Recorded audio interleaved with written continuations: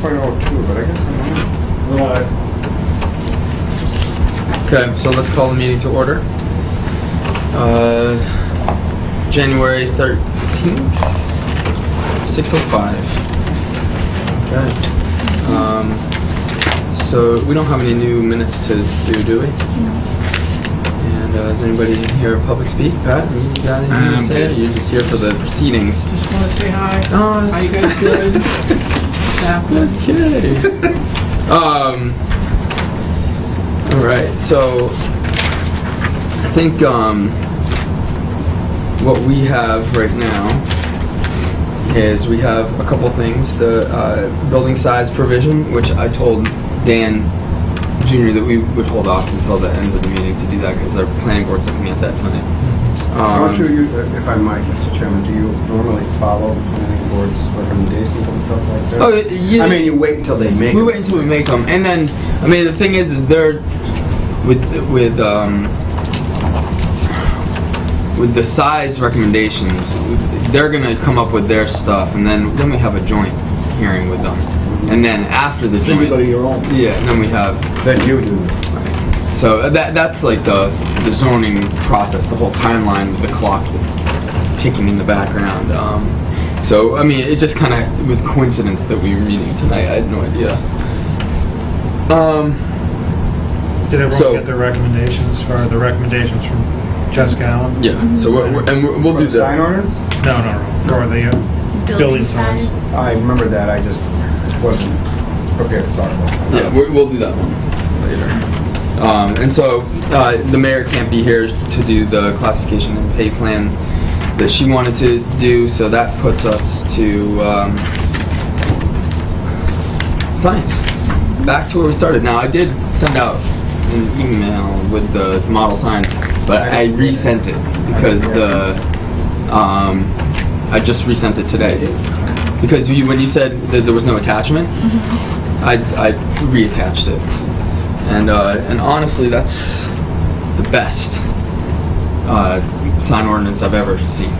Well, now, So- you're talking about just the LEDs or the whole ordinance? No, I'm talking about the whole ordinance. And this thing We're is not changing that well, we don't know that yet. Because I'll tell you what, after looking at this, I've never seen a sign ordinance that's so clear and easy to follow. It's un, unbelievable. It's like it's a model sign ordinance, and if we had known, if we had known at the time, it's, Where's it's- it from, Sam? Uh, if you want, I can send you the link as well. It's uh, I, I didn't get it, did you send it to me? uh, I did. The first one didn't have an attachment, but you said you sent it today. I did. Send, I just resent it. It is um, You might have sent it to my MSN account. Let yeah, it's Great sign ordinance. uh, Yeah, that's it.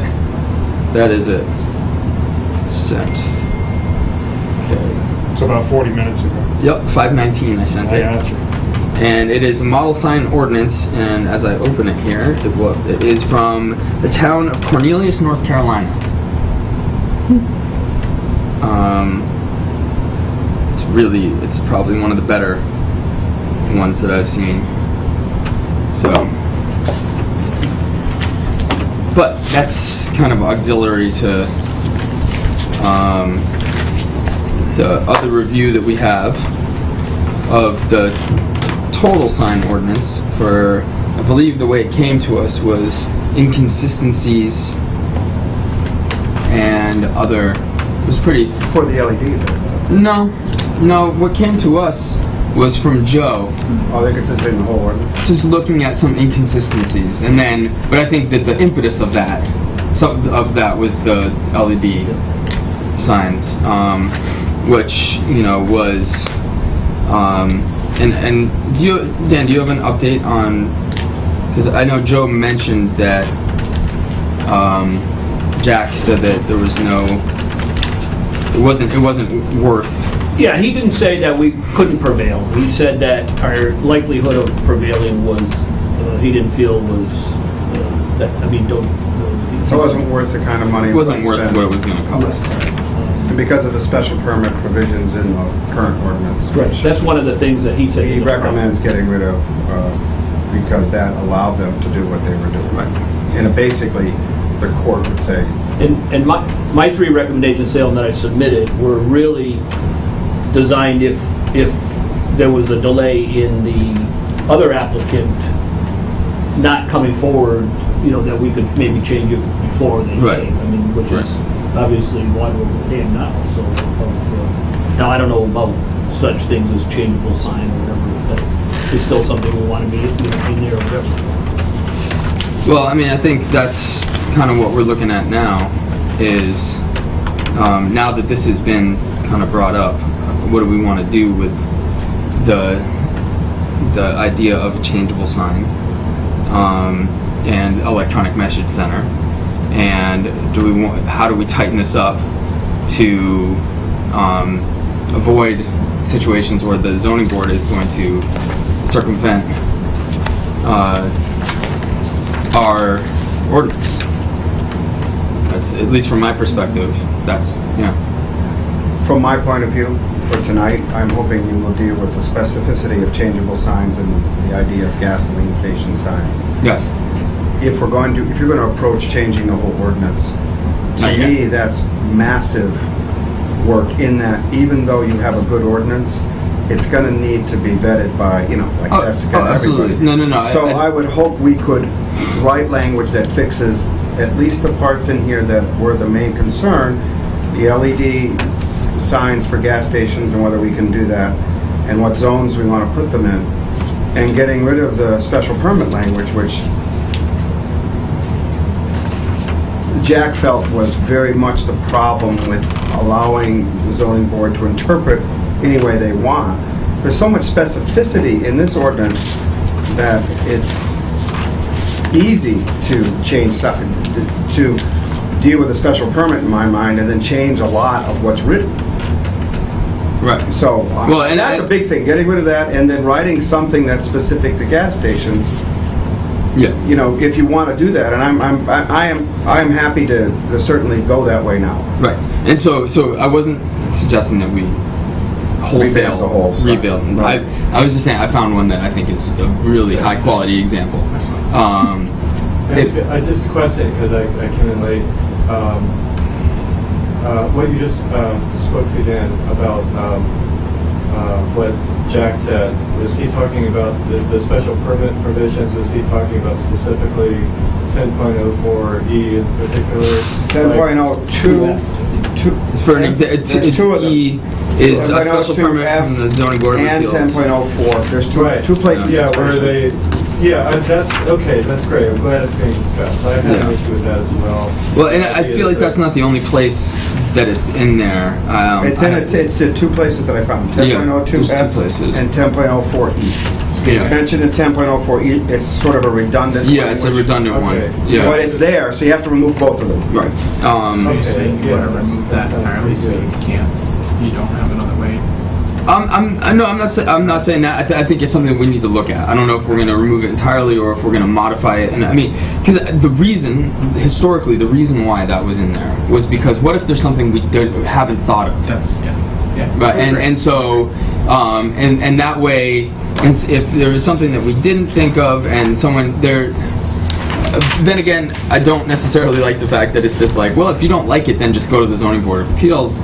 Um, so that's something that I think we need to talk about. We need to review. Now, Dan, um, to your to your point about um, changing, uh, and I didn't have time to make copies of this, but I would I'd be happy to go make copies of this. You could just read it out. Um, okay, so I wrote a, um, you know, basically an amendment uh, change, uh, which would change in under in definitions. Change it would change changeable signs uh, to electronic changeable sign service station LED sign. Okay, An electronic sign with the capability of content change by means of manual remote operation should not violate any of the provisions of section 10.4L. Okay? So, um, then uh, it would add, under general standards, section M, service station LED sign. A sign that displays the price cost of a product can be red or green and permitted as long as they meet other requirements of this ordinance.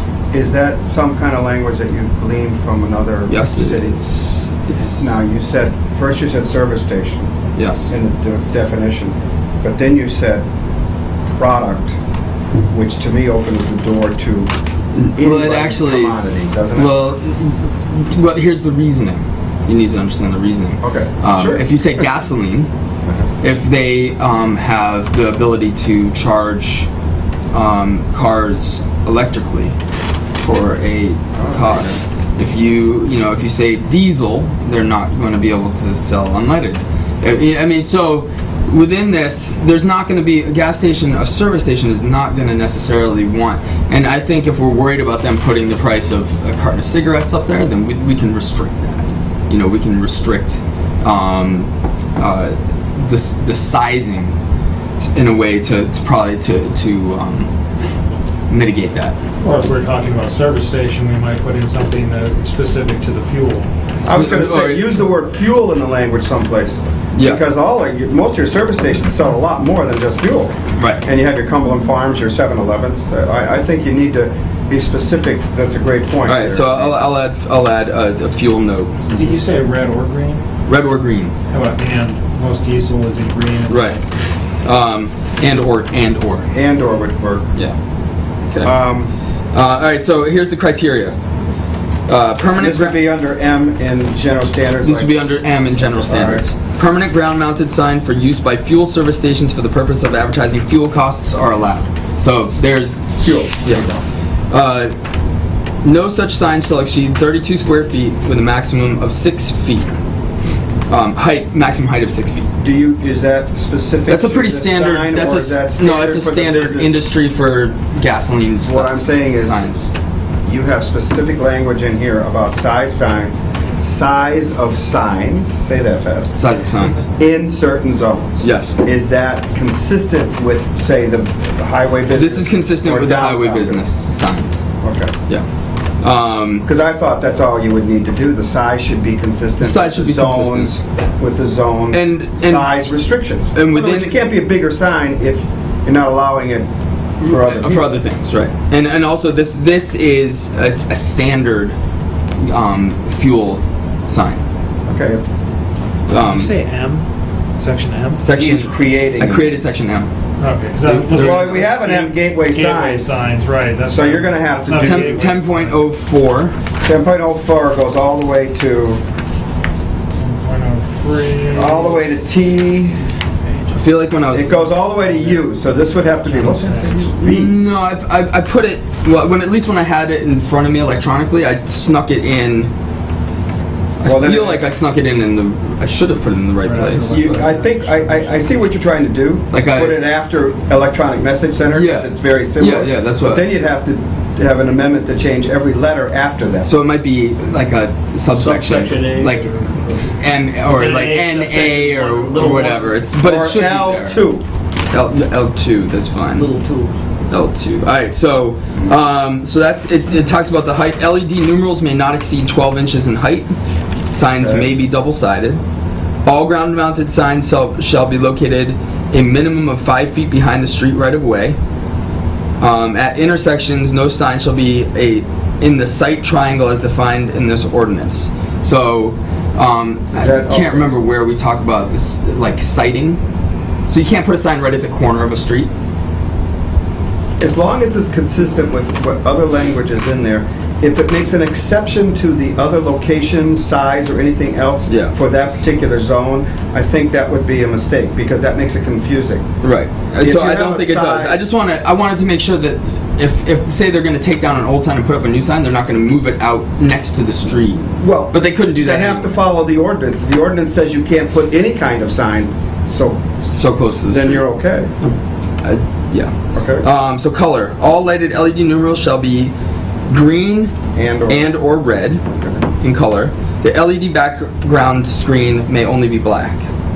Uh, illumination. The sign must not exceed a maximum illu- illumination of 5,000 nits, which is um, candles per square meter, during daylight hours, and a maximum of 500 nits um, between dusk and dawn is measured from the sign face at maximum brightness. That's how sign companies measure the brightness of signs. And is that consistent with, say, Northampton's ordinance, because they allow? Um, n- I don't Where'd think. you get that from? I don't think Northampton specifies the Where did you get that particular? federal standard. I got this. Uh, geez, I can't remember. I was using like three different places. Nits? Nits, N-I-T-S, and it's candelas per square meter. Well, I'm happy because I was worried about language about luminosity, Yeah. that you would have, be specific with it. Yep. Yeah. Uh, and So then you said five thousand days? 5,000 during the day and 500 at night. Uh, such signs may not display display light of such intensity or brilliance to cause glare or otherwise impair the vision of a driver, or results in a nuisance to the driver. So I mean, that's that was like what I Okay. put together in a few minutes. So Uh, It, it covers most everything, but I think you need to put language that signs cannot change maybe once per day and cannot, cannot flash, something like that. Because if you're driving down the street and you see a light flash in your eye, it's a nuisance, Mhm. it's distracting. right. So I have a problem with them, like you said, or somebody Well, I- I said was it, talking somebody about- just said, I you was know. talking about Cumberland Farms, because they're talking about coming into Easthampton. And some of their new stations, still, and they have two prices. They have smart price, Right. you have their card, Yeah, and yeah, they yeah. have regular price. Now, they flash it, they'll, and and they don't do it fast, but it'll say smart, smart price. Mm-hmm. And then in a while, that goes away and up it pops regular. Right. And again, I guess that's just what, you know, uh, I don't necessarily. I think that there's um, the federal government regulates. They do, it's That. 30 seconds. You can't change the, the sign, the image on the sign within 30 seconds, and then the change has to occur within one second, and it has to be a full change. So You're it's like the, But that's for changeable words. signs, right? Right, Is and these we're these are here? and these are these are only changing to for the price. There's no as far as you know the intent of this. It's to have a static price Exactly. and not have you know That's, I guess, where I'd worry about Things that. flashing. s- Switching. I- And then it I- I want- If they have a numerous pricing, like they wanted to show the credit card price, I didn't think that was legal anymore, but versus the cash price, Mm. then they should design a sign that has Both. six, six places instead of Yeah. just three, like, you know, how they do three Ds or whatever, but Ju- Just to go back a little, because I I followed this, the the Mobil out here on um, uh, Northampton Street. See, they had to stay within the exact measurement of that sign they have now, because it's a non-conforming sign. right. So if they made any change to that sign, it would be, they would have to take it out and... and- Put a new one in. So that's why they're only gonna have two prices. They're gonna have, um, leaded and un, I mean, Uh, unleaded and, uh. yeah, it's gonna be regular, no, they don't have diesel. I think it's regular and They have diesel. Do they have diesel? I don't think they're gonna put diesel on there. I think it's gonna be regular and, I- I shouldn't say, but I think there's only gonna be two sides. It's gonna be, right now, there's like three. They're only gonna have two because they needed it within that area. I'm just Huh. saying that's a, uh, it'll be the exact same size of where their pricing is now. It's not gonna be any bigger or any smaller. It's gotta go. Well, So I, I think for, for Otherwise, this, they'd have to change the sign because I think they're too high. They're too, um, you know, under our current zone. It was in before, so they're obviously grandfathered. My only concern is flashing in some way. yeah. All You know, So they want to blink the sign, you know, so you see that, oh, look at our price. It's- so for for this, that's I, that, I Where think you have the easy. nuisance language, that's. Yeah, and then it, I, I think if it was flash, like flashing, boom, boom, boom, boom, boom, come stop here or something. But I, like every, I've never seen a illuminated gas sign that's flashing or doing anything weird other than just showing the cost. And you know what? But I- and I've seen In order for it to do that, it would be computerized, Oh, really? programmable, which mm-hmm. we don't allow in that zone. Well, okay. There's a yeah, there's an open sign on the the Mexican restaurant on the way The- here, and it has Yeah. it has white lights that go around it, and then the white lights they never change. the The sign is definitely there, but the white lights go in a circle, Chase. and it is really like Yeah. that. I think Is is, that what you're conforming? talking about. It's it's unregulated through our ordinance. Is it inside? It's an inside Yeah, window Because it's sign. that is- inside, that is ah, not that is okay. not a regular Because I regular. think the lottery now gives the LED for all their lottery tickets. Yep. Yep, I do. I mean, and so, and I think for for this for the service station sign, I have no problem with the flashing. I mean, I was You mean putting the language in? putting the language in. Um, you know, but I was looking at Big E's. You know, like couldn't have like a better business in town, and they have on their sign of all crazy things in the world, flashing lights. Yes, They do, and they do. It tells So you the changes the weather, temperature tells you the date, and it tells you the time. and I can't. How did I'm hell bent that I haven't crashed yet. How come- Driving down the street did with we- that well, sign We, we grandfathered those in. Time and temperature signs, aren't they listed in here? They are, they were grandfathered in, I recall. Yeah, Yeah, but, I, but if you wanted to put a new one, there was. I believe that you can't put a new one. No, you cannot. So if you want, if you wanted to upgrade that to something that was a little less flashing, you know, maybe a little bit more static, that would be prohibited. One, one thing that we had talked about briefly earlier is that one of the reasons that this wasn't addressed before was that the technology is not there. Is that, did I understand that correctly? Mm, the technology was definitely it was it was more emerging. Um, I mean, we did this in what 2010, 2000, No. 2009, 10? No, it was later. Later than that. It was even you know 11 or 12. But So- that's something that needs to be reconciled though, because you look at a changeable sign, a sign with the capacity, capability of content change by means of manual or remote operation computer, and then we look at the electronic message center, an exterior computer programmable sign changeable or displaying words, symbols, uh, figures, or picture images that can be altered or rearranged by remote means without altering the face or the surface of the sign. So now we're adding a third category, basically a electronic messaging changeable service station sign. You know what I mean? What did It's you call it in your definitions? Um, a uh, electronic ch- changeable sign. It's under that, so that which is in there, right? Um, service station LED sign. I don't know what else you do, Nathan, because you have to have, See- you have to have specific, if we don't have specificity, That, that's why the building inspector's feeling was the gas station is a, was an electronic messaging center, because he felt Right. they were one and the same. Right, I was gonna say, it's, I think and it's that's, I mean, changeable sign. he, he never would, he, twice he kept, he stayed with that, and Jack agreed with him pretty much. Yeah. But I, I think that uh, the changeable sign actually falls under the electronic messaging sign. And- But again, I'm not against uh, the service stations having the, the green and red signs advertising their, their gas prices. Would prices. you I see them again, everywhere. how would you feel if Fink and Paris put a new sign up out front that said, um, didn't have flashing anything, it was just an LED sign that said Fink and Paris open Monday through Friday, 8:30 to 5? No, service that's not a messaging sign, that's just a sign Sure that's it is. illuminated by LEDs. Well- No, because you're not changing it. I it. would agree with you. You're not, but you're not it's not changing allowed, it. But it's an LED sign. It's an LED sign. Is, we don't allow LED signs at Pretty all? much. It's an electron, it could be programmed from inside of our office. Well, well, that's the point, why would you program it if it just said the name of the company? Well, what if we decided to not have it just say the name? Well, then it is a message. So I agree with, so I agree with you. So I'm saying as a business owner, what if I would like to do that? If you put up, I don't know how the, I haven't studied. We're closed today because it's snowing.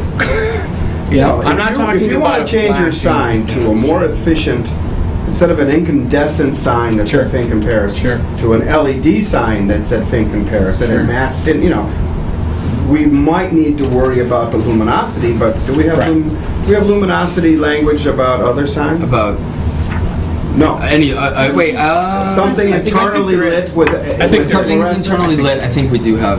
Um, If we, remember how we measured it, though. if, to me, that's different than if you're going to program it. If Yeah. you're using a different source of light because Yeah. it's efficient, it's like changing a light bulb from fluorescent to LED because it's cheaper. But I think it would be denied.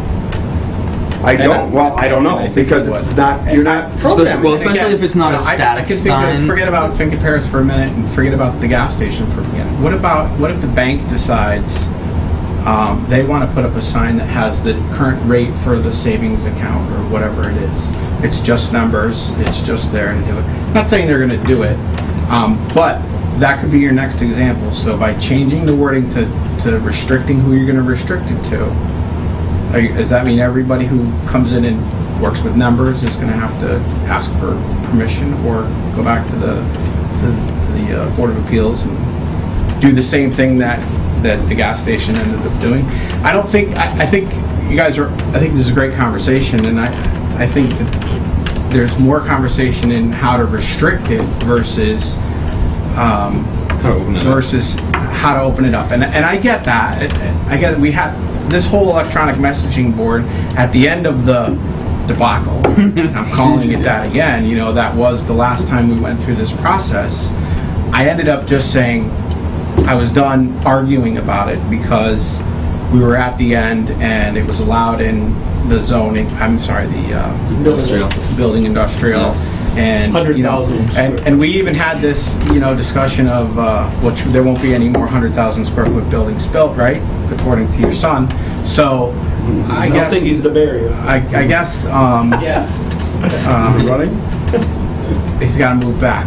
But anyways, um, I, I just think that we should be a little more open-minded versus trying to, to close, close what's already been there. I think, I mean, from my from my perspective, um, you know, I think getting the the gas station one, that's that's pretty much become an industry standard. Sure. Um, you know, as uh, as far as other businesses using these types of signs, I haven't seen it as much. Um, but you know, one example I think is a good example to think about too, specifically. Um, one is the Lions sign, Absolutely. um, which is on Easthampton Yeah. Savings Bank Yep. property there, Yeah. and the other one is the Pepin School sign, Yeah. and what and those are changeable signs Yeah. um, because the the letters can be manipulated. Sure. They have to be manually m- manipulated. But the problem with those signs is they, because they need to be manually manipulated, they go underused. So we have a sign that sits there with information that's not current for for months on end. Yeah. Um, and if those signs had the capability of displaying messages in real time, they'd be much more useful to the community, which is what they're supposed to be for. I would agree. I mean, that's that's I would agree. that's what I mean, and and I, I have firsthand uh, experience with this now because my school just placed a new um, sign. Northampton High School just placed a new sign that has um, it's a uh, I don't know, an L sign, I guess. So it says Northampton High School on both sides, and it has messages for traffic. Um, and we had an old changeable sign, and it, I think it still says um, Thanksgiving break is November. So and but then the other sign is like, you know, current with what's going on today. Yeah. Um, or you know, and it, it gives current messages. So I, I hear I hear that. Um, Yeah, I and mean, I, the- the- I mean, the Pride, I mean, the Pride Station changes their sign daily. The one with, uh, I shouldn't say daily, because it's probably not daily. But, you know, they change their message, you know, I think of the holidays, you know, they have free coffee on whatever Tuesday or whatever. I think of that one. I think of the, the same one, the Lions one you're talking about. I think of True Beer. I think of uh, Old Colony who just put up this, put their sign back. You know, I think of um, the, the the dangers, if you will, of those signs. Even the, the somebody going out there and having to put those up there, especially the high ones. And if it were, you know, the, the whole discussion of those signs, uh, you know, over time, not just the message staying there, but how they get dirty and how they get ugly and how the mold gets in behind the numbers and how any kid who's having a fun time and it sees the Kiwanis sign or the Lions sign says, you know, eat at Joe's and makes a changes the letters around, it can cause, you know, a worse looking sign, if you will. I mean, there are a lot of things that I, I just don't want to see the, the ordinance. Um, But I, I mean, again, the whole than- purpose of the ordinance, and I know both you and Salem were basically told me the same thing back then when it, when it passed. Yeah. And where it was defeated, what you're saying. Because I think the majority of the I would say council. defeated, but it was, Well, the, it was definitely defeated on the LED. uh, it wasn't defeated because it wasn't, prom- we didn't push it forward. Yes, it was. Yes, it was. voted down There was an five to amendment four. made that night, it was beat five to four. I can tell you who voted for it and who didn't. I don't remember, I must have blocked Well, it. Anyway, what we saying? Anyways, I'm sorry. I'm No, no, sorry. I'm just saying, so that's a whole nother discussion. Does the town, because I think a lot of the town thing there was Easthampton is a special place, and we didn't want to go down that road of Right. Memorial Drive in Chicopee, Right. or even Northampton. Northampton isn't the end-all and be-all Right. of, of uh, LED siding. To me, I- aesthetically, I think it's, it's, uh, uh, it's, in my, in Yeah. my opinion. I can Uh, understand It's, that. it's, uh, it's, it's not a, a great uh, thing. Right. I- I- Everybody could have that, you know, Sure. signs, I say, uh, I think. And I can appreciate that, as long as you can appreciate that. I I- see the opposite side of that, and, and that, you know. yeah. I'm in a little conflict myself because the one thing I don't want is exactly that. And I certainly don't want scrolling signs. Looks like babies. And neither do I. You know, I I don't want let that let me, either. okay, Pat, all right? Um, A community messaging board, like you just said, that changes periodically to tell you what's going on in the city. That to me has a lot of merit, and I'm thinking, wow, that does have merit, because then we could have current stuff for schools and current stuff for the community. But then having everybody in town be able to put up signs, uh, mortgage 10% or whatever they want to put up, all in LEDs and all able to change, that scares the hell out of me. Now, we need to take baby steps. These LED service stations, industry standard is a good way to go. I would be amenable to some kind of a community sign if the Chamber of Commerce wanted to put something up that allowed everybody to put up a sign that changes at night and has one message. It's programmable, but it's only at night. It doesn't flash, doesn't it's- scroll yeah. or anything. No. But that way, someone could type in something. Yeah. Uh, The Academy of Music, I love that building. As soon as they put a scrolling sign in the front of it, it destroyed the character of that building. It really pissed me off. Of course, it's more efficient than going out and putting up a bu- the billboard out there. The marquee. But the marquee that scrolls now, first of all, it- It's too bright too. it's too That's- bright. would you It wanna- bothered the people across the Uh, street. yeah. And secondly, because it scrolls so much, I don't want to watch it. Right. I, mean, so here for here's just a minute, you know, and I'm driving up, driving up on 91, and they have the beautiful LED, and I can't believe this is what's impressive about the about the uh, quality and the capability of LEDs now. They have these bright, huge billboards now that change periodically, Mm, and I'm driving around the most dangerous corner in the, on 91, Chicopee curve, and all of a sudden my eye goes flashing. What's that? I said, Jesus. And it's very effective because you read it, Unless you hit the but you're supposed to be driving. so that's why we will not allow billboards in. Well, you would allow billboards anyway, but I'm just saying, there's certain things you've got to be very careful about. So if you want to go the route of a community messaging board, I might even be okay with it as long as it's very specific, but let's stick to the service stations. Now, the thing that you brought up, Pat, that's, that, that I thought about was discrimination against other businesses that might want to change the price of something. But I don't know if there's case law or any situation in which, I know we have service stations allowing it. I'm wondering, like Northampton allows it, obviously. Mm-hmm. Do they have language that restricts it to just service stations? Or do they, is it simply that people can't afford to do it or don't want to do it yet? I think it's more expensive. I, I haven't looked at Northampton's ordinance. I would be surprised if they have language that. Because they allow scrolling like that. They- they- I mean, I- and in fact, I Walgreens think- on King Street, I think scrolls a message. I think Northampton's Cool. Northampton's sign ordinance is is not uh, is not as detailed as ours.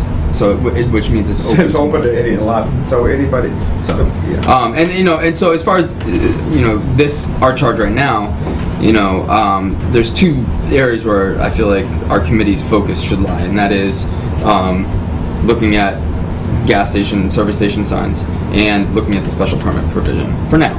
Um, uh, you know, there's nothing to hold us back from looking at other pieces of this as we move forward, but for now, I think that's a good place to Uh, I wanted to, when you talk about the special permits, I wanted to, I gave this to, I wanted to give this to Nathan and to uh, you, Salem, because it's, it's, I I had been worried about how come. Sorry. I had asked Jack, how come, how come they can just change, the zoning board can just interpret the law? And he told me why, because of the special permit language, and because there's not specificity in there. So he recommended changing it, so I just wanted you to be aware that I don't see the need for the special permit language at all. Now, I understand you want to put something in there that it will allow, but that allows that board to make that decision. A variance or something? Mhm. I know there's a difference between a variance and a special You- permit, right? Well, Well- a variance is, is, is granting something that's not allowed by the ordinance ordinarily. So if, if the sign that somebody's requesting is not allowed by the ordinance in this case, and that, that special permit was submitted under 10.04E, and it just said, it's not allowed by the ordinance, but we're gonna let you do it because we can. Well, that's, that's, as kind of arbitrary, uh, and. uh, To me, it's arbitrary. Why do we need that language in there? Is there a special permit process? Do you remember Salem, or you, Dave, was that, when that was put in about the special permit, was it variance before, or was there nothing there? No, there was No, nothing there. Nothing At the there. time we were discussing it, during the- all those discussions, I raised concerns about that. I believe that that was part of the, and and I was surprised frankly to see that it ended up in the ordinance Mm. because it is problematic from a legal challenge.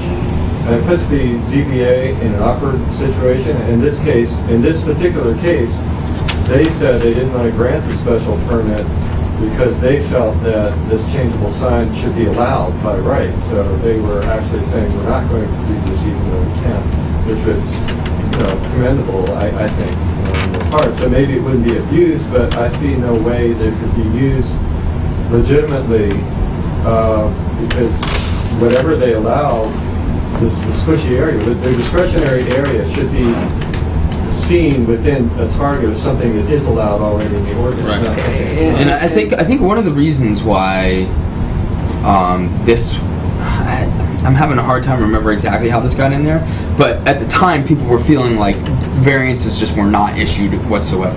So that if someone went to them, that they would get denied, but they would give somebody a way to you know air their um, you know their displeasure with something that they I think it's even just in the language, a special permit from the zoning board of appeals is required for exemptions to this ordinance relating to sign area or number of signs.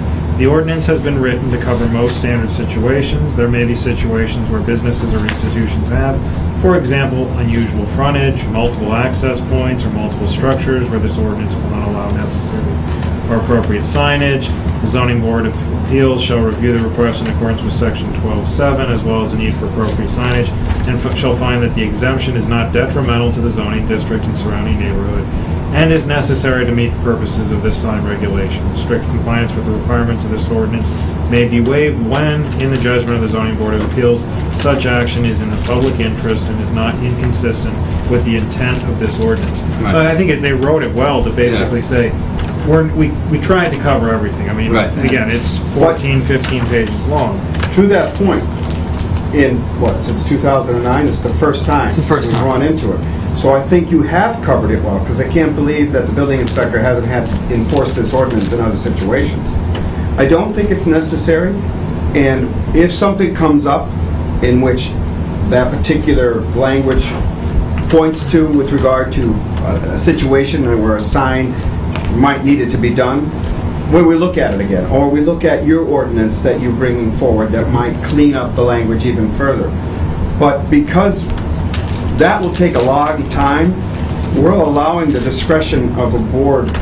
One thing that you said in there, which is what Dan brought up, is the intent of our council. It's clearly stated in the minutes of the meetings what our intent was, yet they ignored that, and the language says in there that they're supposed to follow the intent of the ordinance.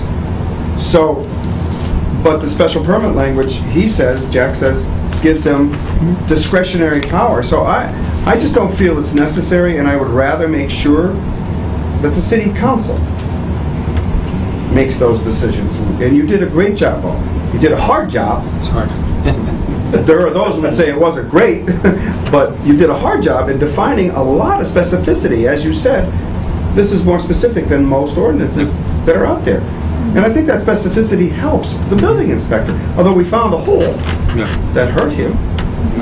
So I'm, I'm gonna I want to uh, I want to take I think that's gonna be a big piece of this whole review. So, um, but I'm, I'm not prepared to to move it tonight. So um, Well, I would like to see the language you wrote up. I'm gonna I'm gonna Sent to clean this up. I'm gonna clean this up and then I'll I'll get that out to people. I would really like to see the, what was that, um, way to measure light that you were talking about? Nit. Would like to see if we can find out what the nit for the racing sign is as a comparison, so that we could at least, I, I hear that language and I think it's great to have some way to measure it, but we have no reference point. And I was thinking a lot about what was bothering everybody about the signage and everything, and I think the the brightness of the sign, the LED is so broad um, as a term, and there are many LED lights that have a narrow enough light where it's not going to be blinding. And I think Right. there's a distinction between that kind of LED versus the one that um, you know is is going to make you go off the road. Right. Well, and I, and I, I- I think you know um, the nits are measured by the manufacturer. Um, and so as we as we see, um, you know, we, I'm sure we can find signs for reference. Uh, but but actually, what you were saying brought up another thought, and the reason why I feel like this makes sense is oftentimes it's hard to see the um, the gas signs where they are placed there manually. But um, I mean, the, the the lights are bright enough, but sometimes the the numbers get old or they're placed weird, and older people are gonna struggle to see that more than um, a sign that's well illuminated and, and it's clear. And, and I could see that, you know, we're talking about driving hazards. You know, having a clear sign that people can see without, you know, without having them having to like squint or especially in high traffic areas makes a lot of sense. And as it was pointed out, the one that, that's out, uh, is that Racing Mart, the one that's in Northampton, Mhm. that signs, the LEDs are not as bright as the actual sign of the store. right. Which- So that luminosity, but the thing about LEDs, Tamara, is that they have such great capability. Mm-hmm. So a definition of the nit or the luminosity is important to be specific. And if there's an industry standard for it, I'm happy with that. Mm-hmm. Because I can't believe that, I don't know how you write it other than start with that. I agree with Tamara, though, that you gotta be careful, because one thing about Racing Mart out there, there's nobody around Racing Mart. Racing Mart's all by itself, where if we go talk Easthampton, it's 7-Eleven, there's a senior complex behind them, Pride, there's apartments across the street, there's residential housing, Main Street, if you put it out there, you're talking a residential neighborhood. I mean, I think the brightness of the LED on those signs is very important, of, of not bothering residents. I mean, it's not all about the convenience of selling gas. I mean, it's a lot of the quality of life of the residents around the gas stations, so. The same could be said though for the, the incandescent bulbs and the other signs. I mean, how bright do you really want to make them? Yeah, The we one look thing at the I'm McDonald's resistant. arches, yeah. Right. Well, I was gonna say, that's one thing I, I'm kind of resistant or hesitant about is, we keep talking about LEDs, but I wouldn't have any problem if McDonald's wanted to put in a new sign and use LEDs. And historically, theirs says billions and, or millions and sixty-five or billions served and served. I'm sure that's done electronically. So suddenly now we have another electronic changeable sign, but again, in energy efficiency, should they be using incandescent bulbs or LEDs? Well, that goes to price commodity and whether we should allow that. LEDs, as I said to Pat, it's just another source of light and it's a more efficient source of light. I don't have a problem with that. Mhm. Um, On the other hand, the one thing we didn't talk about is this is now being talked about in highway business. I don't think we can discriminate against downtown business and not allow downtown business to use these. I'm talking about the service stations here. Yeah. I think you have to open that up to those two areas. I would resist neighborhood business like the Main Street station. Uh, I mean, as the as the as the precinct four counselor, I feel like, um, Is that you, Yeah. Main Street? It's me. I don't know. um, I don't look at this. I, I, I, feel- I, I mean, here's the deal. They, they close at uh, eight o'clock at night, Oh, okay. so their sign would be turned off. You know, I mean, they turn their sign off. Yeah, that was my question. I, that, I was going to cut to that because it did say about these signs in the ordinance, the way it's written now, where they are allowed, that the signs will be turned off when the business When the is business is closed. closed. Or no later than 11 o'clock or Right. something like that. There's some. Well, There that's is right. language that If, if you put that language in, I'd be more. It is. inclined. It- You know, it- it's- Especially if it's, you know, like that, the business is closed. But if you have a 24-hour service station in neighborhood business, I don't know. Mm-hmm. But they have, again, though, But right now I'm they in have- conflict with that because the sign that says gas is probably brighter. Brighter than- Than the LED, so how do you win that? I, I- I Yeah, I don't mean, know. it's it, the sign is there, so you, it, and and a lot of this is updating and and, and I- I making it look nicer. Struggling how to deal with new technology that makes life safer and easier for businesses. So what I'm gonna do is I'm gonna I'm gonna uh, re-fix this, and and you guys have to leave because we were just about to. Yeah, sorry, Yeah, I think we're just taking it up um, too, so we're getting, we're getting conflicted. Yeah, I know. I didn't realize. Normally we're Wednesdays, but I have I. I- Had to Yeah, but you usually deal with the size limitations after they're. Yeah, I mean we're gonna we're gonna have concurrent deliberations here.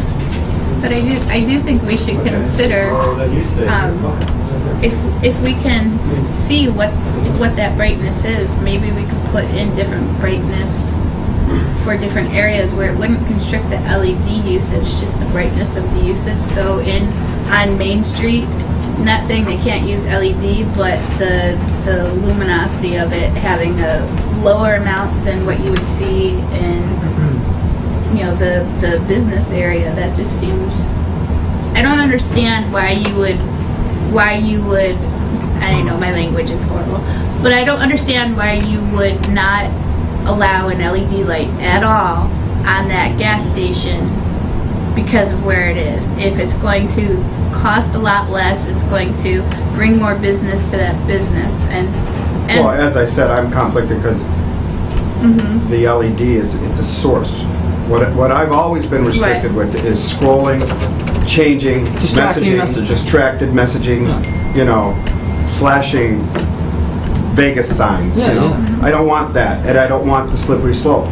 On the other hand, you're very specific about this, so I'm not against that, because, mm-hmm. again, the LEDs is just a type of sign, mm-hmm. a type of source, light source, which is more efficient. Mm-hmm. And, and I'm, I- you know, I'm- and And I'm, we- you have specific language, so if you want to open that up to service stations and neighborhood business, I'd probably be okay with it. I, I think we may be facing soon, why can't I put the price of my donuts up? It is, change it. One thing, you know, as someone who represents precinct one, uh, you know, because of our past zoning, you know, you have a lot of residents out there, most of them are renters, but there's apartment buildings that, that face those gas stations too, through no fault of their own, so I don't think they should necessarily, in other words, we should crank up the light uh, on highway business and crank it down and, you know, because they, they have a right to live next, I mean, like if you're gonna allow Burger King, there's an apartment, uh, uh, right over the fence there that's been there longer than Burger King, so Well- it wasn't like they, those poor people moved in before Burger King was there, you know. Dan, the only thing is, I, I, it's a business there, I'm not saying they shouldn't have signs. no, no, I'm saying, they have a sign now, it has to be lit by incandescent lighting, it has to be bright enough, and it's shining on the sign to say. But I think- So if the LED, the numbers themselves are lit, Right. what's the difference? Well, As long as we're careful with the luminosity. Well, there is a difference though, in, uh, in my, again, you know I'm more and I don't want to hold you guys up, I know you.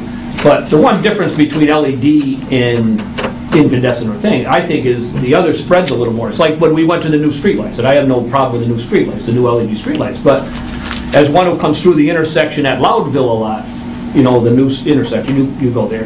When it had a, the old, I I don't know, was it sodium vapor light? Yeah, it was- That spread the light out over that whole intersection, where you now have that one light, and it just shoots, the LED little shoots more straight narrow, down. I mean, I came through there on a a foggy night, and I'm glad they're gonna put up, they're gonna put stop signs now with, uh, My idea. with the thing. My idea. I Uh, told Jim Gracia to do But that. I came up through there one night saying, boy, I'm glad I'm from Easthampton and know this intersection, because I was coming from Southampton, and I said, boy, that's, that's a wide, Mm-hmm. beautiful, and it looks like you could roll through there, and then you get up there, and there's just this one little light. Little, sitting there. yeah. So there is, there is. That, that's a case where the LED It's is not more as- efficient and not as bright. but, bright. I mean, it's, it's, they Well, just, they did, choo- they chose it the shoots it- wrong, they, they need a LED that has multi, uh, more angles. Yes, 'cause Can I, it can I shoots say, straight. Mike went this route because of the savings, but the technology's improved magnitudes now. So there may- probably You could probably better- get the same wattage of usage of electricity and get much brighter LEDs. Oh, yeah. I know you can. Yeah, yeah. In my industry, they change them constantly. Yep. Unfortunately,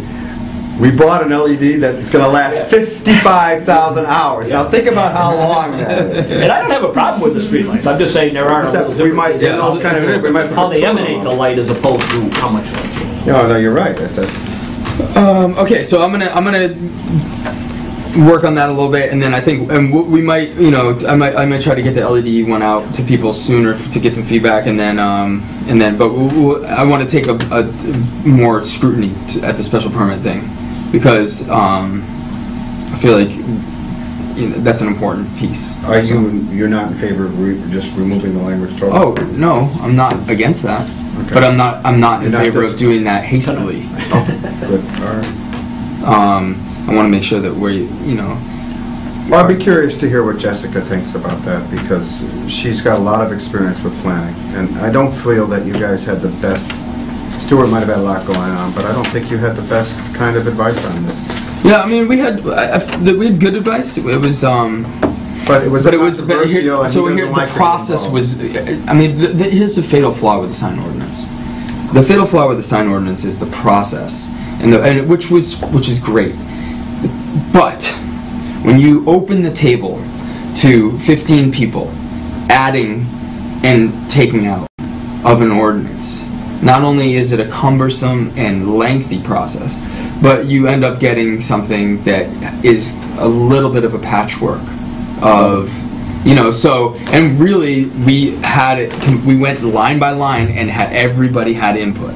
See, that, that bothers me, because we were elected to do that, not the community. They can present things, and then we listen, and then you stop that kind of discussion, then you move on to the city councilors having the discussion. Right. You So- have, that's why we have public speak time, you- you discuss it, but it sounded like that was a committee of the whole. of And- everybody. And basically, I mean, you. Oh, yeah, I went to several. So if you go to do this, if you go to change this, that can't be the process. No. It has to be get input. No, I just then wanna- Stop the discussion, and the councilors Honestly, if, I, if it was going to happen, if I want, if, if I thought, or, or if we thought that, you know, redoing the ordinance, I would take the the pieces that we have and plug them into that that model. Well, because honestly, you get the best- If you if you take a look at this, I'm gonna mean, read this. It's it's um I, I can I want me to forward it to you? Yeah, if you- yeah. Um, it, it, the way that they do it is so uh, they they everything is diagrammed out.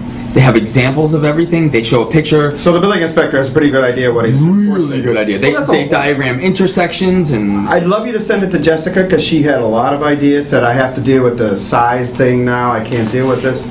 okay, me, So I'd love you to send it to her, because I, I'm not amenable to changing it, but I really would urge you to keep Yeah, I mean, I'm just I'm not. Honestly I'm not looking for more work to do, but I feel like you know um, th- this is something that is uh, Dan, I, so not junior, right? No, Hagen. Precinct one. Yep. Okay. Let's see. It's Do you have his email? sent to you. Your son's email? I don't want his email. No, No, I, he just he's emailed me moving the that, other day. the building thing. I I Because he's- recused myself on that. so. Yeah. Oh, okay. Um, which way I have to I have to leave in 20 He's one of- minutes. Well, he's one of Okay, them. I'm So, leaving, we're, I'm we- leaving, we're gonna, shut up now. we now. have to Sorry. uh, talk about this size limit. Alright. Are you guys okay with that? I, I can. I'll, I'll email you guys as soon as, when I revise this. I'll Yeah. email you a copy of it. Yeah, I mean, I do have some, some reservations again about, I haven't had a chance to look at this. I do like how they make it specific, this is for service stations. Yeah. But the idea of like putting language in that we're suddenly only allowing these LEDs for service stations, I think opens us up to other businesses who might feel that, you know, somehow we're infringing on their ability Right. to, like a Free bank. speech. Uh, Right. Oh, and You know, it's like, why shouldn't they, you know, put their, their latest mortgage rate or something like Right. that up there? well, we can talk. Not that I want to see it, but you know, it's just one of those things of. The Supreme I Court's think uh, doing signs. NPR, exactly, Yeah. so that. Yeah. That's cool. Yeah. I think if you, if you're looking at that, you need to find another language on that someplace else. Yeah. If you're gonna look at what they do for LED signs, although. Yeah. Yeah. Alright. Okay. See you. Thank you. Thank you. All right. So um, let's look at size limitation. Um, did you guys see Jessica's memo? I did. Um, so here's here's her thoughts. Um, uh, she, while I believe this zoning has been filed to stop future big box retail development and support small business, as currently drafted, has larger economic implications for Easthampton that should be considered. So limit building size for retail only. Um, in the examples provided, the applicant's packet, the uh, communities have adopted similar zoning provisions to limit bu- building building sizes have done so for retail uses only.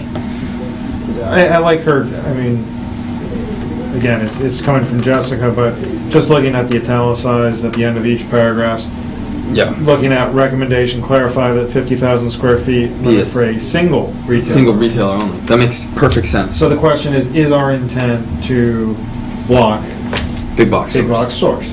If it is, well, then something like this basically blocks them, Yeah. but would allow, I'm gonna say like Thornes Marketplace Sure. or something else that could have Hundreds of- multiple retailers inside. At One Ferry Street. How cool would that be? Yeah. Well, and that was the other thing, when they got to One Ferry Street, it's like, yeah, they're, you know, talking about potentially demolition and then using that space for, you know, somebody who would be Right. willing to spend the money to demolish it is going to be interested in putting a very large structure on it. Right.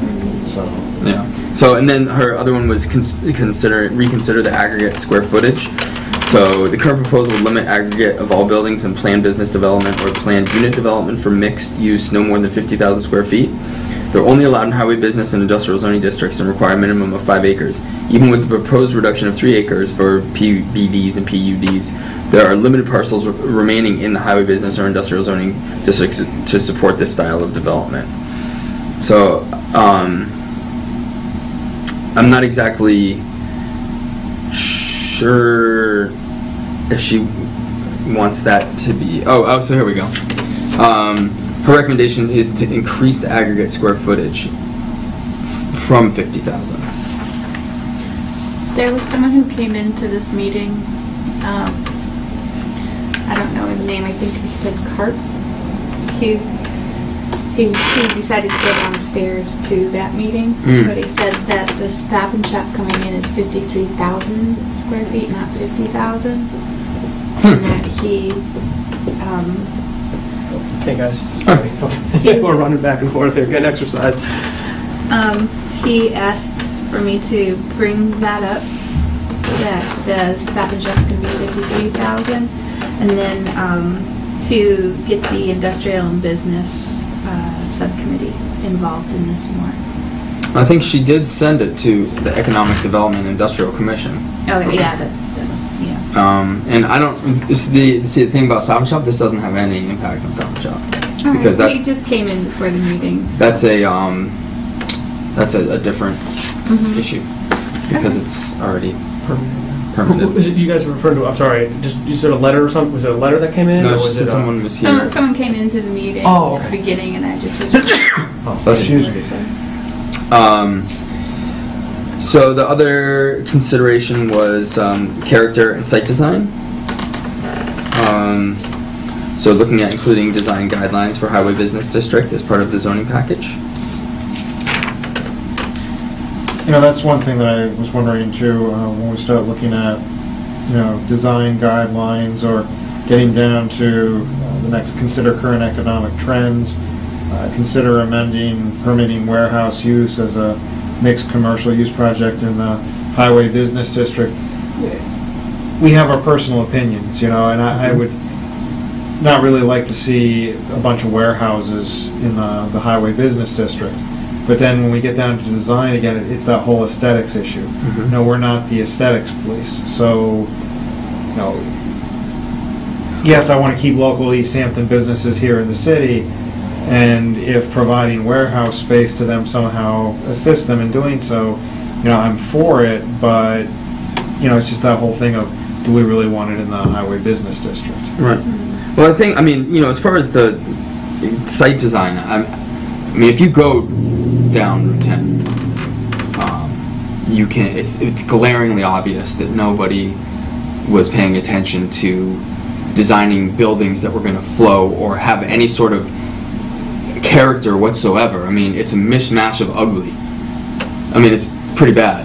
Um, so, you know, there are some standards out there as far as site design that um, can help with that flow. Landscaping, et cetera, signage. So, yeah, where where the where the cars park in relation to. Right. Um, so I mean, I'm not against looking at that. Um, you know, as a piece of this whole thing, and maybe having um, something in there that kind of addresses that. I mean, it doesn't have to be super. It doesn't have to be you know, like an example that I can think of is um, oh god, Simsbury, Connecticut. Is that is Simsbury where I drive through when I'm going down to Avon? I don't know. Do you ever go the back way? No, but I have a colleague who lives in West Simsbury. It's like everything's like red brick.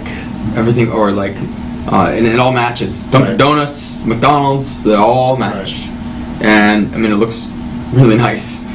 But I mean that's pretty extreme. You know, they obviously had some pretty um, aggressive zoning laws that required businesses that wanted to be there to. Um, but you know, that being said, it's something that maybe we can do a little research into. And, you know, I- but even there, and again, I'm not opposed to the site design, but I, I sometimes drive into those places and I find it unique, and it's like, oh, I like how everything is in wood, you know, I'm, you know, Mhm. down again in Connecticut, and here's a Stop and Shop, and it's, it's all in wood, it doesn't look like what I usually think of as a Stop and Shop, and everything's aesthetic, and everything is matching, matching, but who's to say again that that's necessarily nice? I mean, if you would go down Main Street, Northampton, would you say, oh, well, let's redo the whole Main Street so that it, uh, let's get rid of Town Hall because let's just, Mhm. you know, that castle-like structure just doesn't fit with everything else. So we're gonna just wipe this clean and make everything match, paint it all the same, red brick, or, you know, it may look nice, but does it have to be that way? I mean, I don't, I don't, I don't think so. But I, I think having some guidelines helps avoid a, a real mismatch of, um, you know, which which I would say, like if you, you know, if you go down Route 10, and you and you you know the the building that Dan was talking about next to Burger King, that you know it's an apartment building. Right. I mean, um, so it- it's there's it looks like people just built s- square things Right. and we're like, oh, I bet we can put people here. Or we could have someone live here. And then, you know, there's the ones further down on the left side across from um, the Boyles, like autumn management. I know that. Th- and there, there, there's like one here, and then there's, there's and yeah, and there's stuff back there. There's like you know, it's like it's so unthought out. Right. Um, it, I just don't think it could hurt to have a little bit of guidance to help them along the way. Especially if it's, I mean, it's granted, someone's doing a big project, they're gonna, it's gonna, you know, they're gonna try to make it look decent. But anyway, it's something to think about. Um, I, the problem that I have with that is how how white middle class that can come off as in terms of exclusionary. When you have um, an ethnic business that's using brighter pink colors or more, uh, looking at the restaurant that's purple as an example of that. I'm sure there are a lot of people who wouldn't want that as purple, but and, and it does stand out as not matching, but that's because it's celebrating Mexican heritage. And I, I get so concerned language could then be be turned into exclusionary language. I don't, I don't think this the character, the site design would have anything to do with anything. It's, it, it I, I think that that's reminds me of like a condo association. Like you can't. This, this would be like where the parking lot is placed in relation to the building, how much hardscaping or you know landscaping is in the you know the the development. The colors and things of that nature would not be addressed. I mean, at least from my perspective. That was my concern too, and like I said, it- you know, it looks nice sometimes when you see all these matchy-matchy red brick buildings and stuff, and it's like, oh, I, I didn't realize that was a subway, because it's not green and yellow or whatever the colors are, it's, but it has a little wooden sign that says Subway, it's like, oh, isn't that unique or nice? And, oh, it's neat to be in this matchy-matchy, but again, I, I celebrate that diversity, you know what I mean? If-. If you want that bright purple store, go ahead and put it there. But what we're talking here, though, again, is strictly the highway business district and mm-hmm. more the site design of where are the cars parked, do you have to have landscaping, trees, shrubbery, you know, et cetera in the area? We're, we're not mm-hmm. Talking about, And part I part of this could be part no, of it this could wasn't be like mistake, I mean, that's, part of this could be making it bike and pedestrian friendly, um, and uh, you know making affordances for um, sustainable uh, vehicles, like having electric charging stations and things of that nature. You know, so I, I, it doesn't necessarily. I mean, I think I guess maybe my example made it seem like that. That that was just the most glaring one I could think of of a city that had you know uh, character. Uh, restrictions or whatnot, but um, I think the one Ferry Street one is an important one to think about. Um, because, and what did you guys think about the mixed uh, Ferry Street being affected by this? I mean, it's 385,000 square Sure, feet. Sure, yeah, I mean, our thought was, was this, is, is the, um, you know, obviously if they can repurpose the building today, it wouldn't be impacted by, by this anyways, because you could repurpose the building and keep its existing structure and still use it, so it wouldn't be impacted by the ordinance anyway. Obviously, if you had to bring a, take a building like that down today, I guess the question would be, would you want to build something, kind of like we've had the same problems with our mills over time, is if you build something that large, um, and the original tenant ends up leaving, how do you ever repurpose that size building again? You know, it's just, it's not a um, sustainable, long-term strategy that you would use. So, um, so really, you, you know, so I think obviously, if you could repurpose it today, uh, it would escape, uh, you know, would- it would escape our, our limit.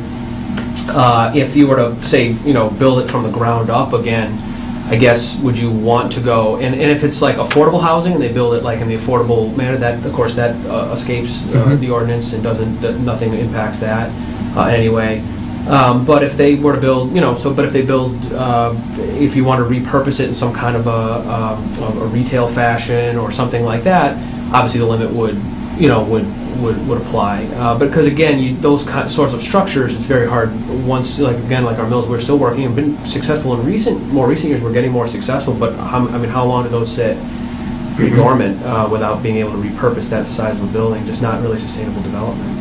I mean, I guess my thought about for that spot is it. I feel like a 50,000 square foot would look strange in that in that footprint, you know. And, and I think that if someone was willing to maybe, I mean, there's a good chance that if someone's going to do that, they're going to have to raze the, the building. And um, it, I, I feel it would be interesting if someone wanted to come in and, and do like a build something that was similar and looked similar, you know, to, of, to the buildings and and do. I, I like your idea of like a Thornes.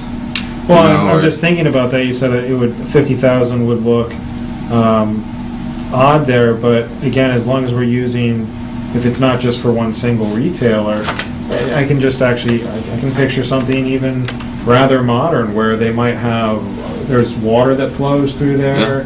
Um, you could have a waterfall, Mhm. even if it's being pumped up.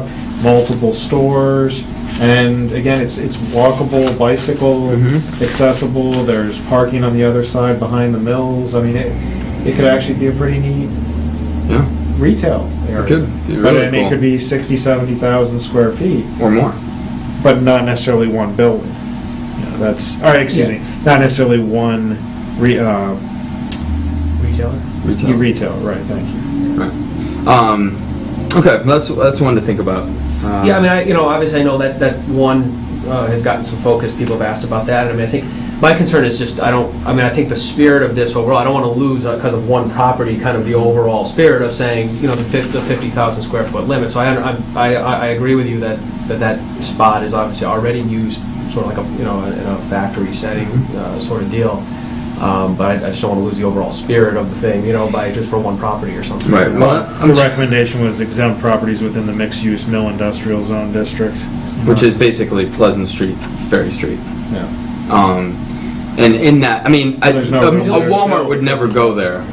No. Yeah, and that would be only dangerous if you were to raze one of those structures and put in, you know, one of those companies come and, and raze a structure and then put in a Walmart or Right. put in a Home Depot or a Lowe's in that, in that area. And I think we still have, I mean, still some of those same concerns would be that you could draw, you know, you're drawing business away from your downtown. Right. Uh, and you have a, a, a ma- kind of a, a retail like Walmart coming into your city.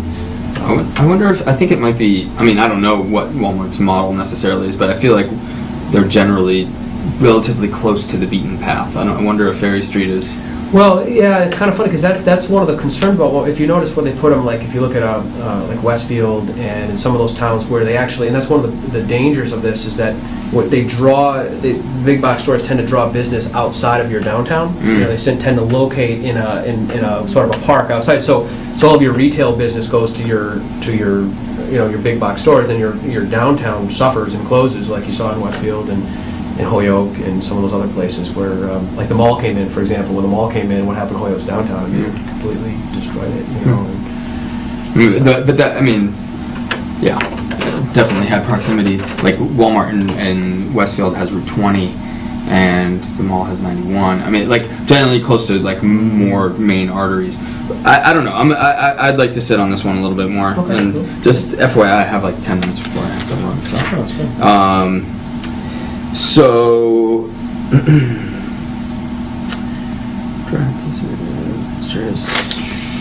Was there anything else on this that you guys wanted to focus on at all?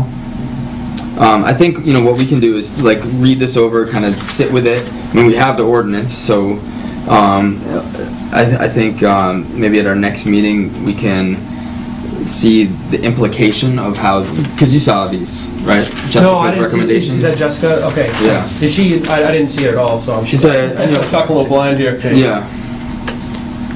Okay. Um, so th- these are just some of her recommendations on what she thinks would work. I believe the planning board probably got these as well. Um, and so, you know, uh, we'll, we're gonna digest it. We ju- I just got this tonight. Right. Yeah.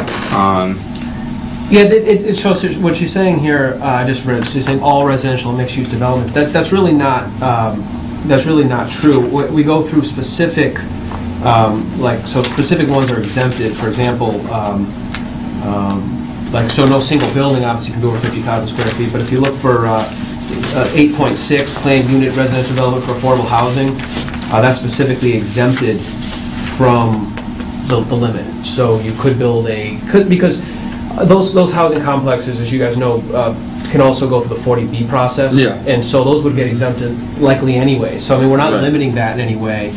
Um, uh, So anyway, so that, so, so it's not all housing development, if it's obviously, if it's a uh, a residential development, planned unit development that has affordable housing uh, components to it, it would not be, it would not be limited. So, Mhm. just so you guys know the, you know, kind of what we're thinking there. Okay. Uh, But I'll, have to- I'll kind of, you know, I haven't seen. Take a so look at this, yeah, and then that way you can. Sure, yeah. Um,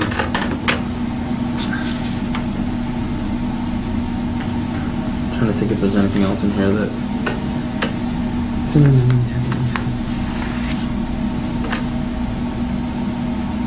Warehouse.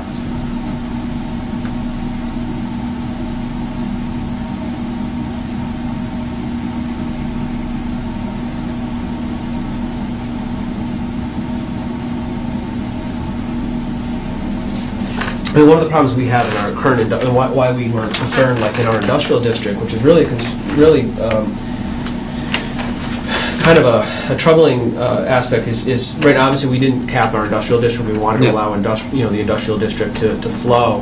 Um, But, uh, one of the concerns, though, is that, in- right now in our industrial district, you can use that for both, for almost any kind of use. So it doesn't have to just be industrial uses. So that's one of the challenges, is we wanted to limit the, we don't want to limit industrial uses in the industrial zone. Obviously, if someone wanted to bring in manufacturing or something like that, we want that in our industrial zone. But if you were going to bring in, like, retail stores in our industrial zone, obviously, we would want that to be capped. I mean, you know, we don't, again, we only have so much limited industrial space left for those kind of manufacturers. We don't want to give that away to large-scale retail developments. Right. But, um, yeah, uh, the other thing, I just, uh, the aggregate square footage of a planned business development, um, you know, one of the problems with that is, and I, I- that's, that's a big concern of mine, is if, it- one one of the reasons we wanted to aggregate this, the planned business developments is that, you know, you can have a retailer like Walmart come in and, or Home Depot come in, and a planned business development is, is sort of like you see like the Red Robin, you know that area in Holyoke where you have multiple, multiple businesses, usually operating out of one building, but could be, could be um, multiple buildings uh, in a, in a very tight area that share parking. And so what happens is how a a Walmart could defeat your proposals, if you just limit one building to 50,000 square feet, they'll say, oh, okay, and they'll build it as a, as a planned business development, which allows them to build, you know, essentially one building, or have two buildings, and run, like a Home Depot could run a building, and then have a, their um, garden center, you know, and then put another continuation on the other side, and you've essentially escaped, you know, you've escaped the limitation. So, again, it's, it's just that they can be very creative like that and still build very large-scale developments. Nobody's built, by the way, I mean, I think this is another really important thing, is there's no real limitation here. I mean, in all the history of Easthampton, so far, I mean, there are planned business developments, no one's even come close to that. I mean, Mhm. you know, Stop and Shop being the only one who's come even close.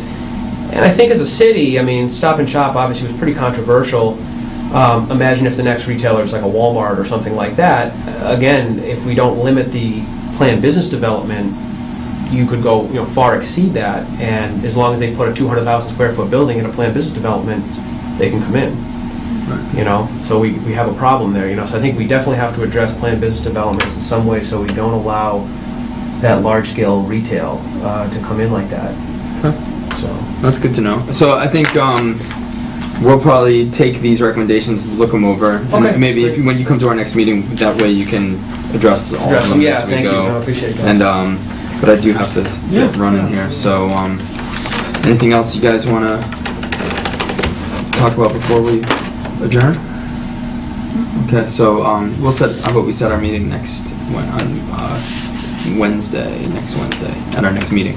Yes. Yeah. Next Wednesday, we'll set our meeting. Yeah, yeah, I'm like, I don't have my iPad. Yeah, that's all I got. So, um, all right, good. Uh, all right, so motion to adjourn. Second? Second. Yeah. Okay, all in favor? Beautiful. All right, and I'll, I'll, um, I'll type out that sign ordinance thing and send it to you guys.